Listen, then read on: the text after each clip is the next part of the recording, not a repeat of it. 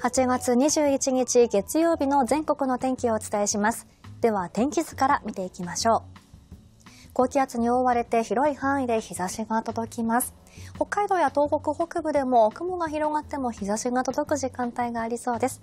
それではお天気の流れを見ていきましょう。各地で朝から強い日差しが照りつけます。ただ、晴れても天気の急変に要注意です。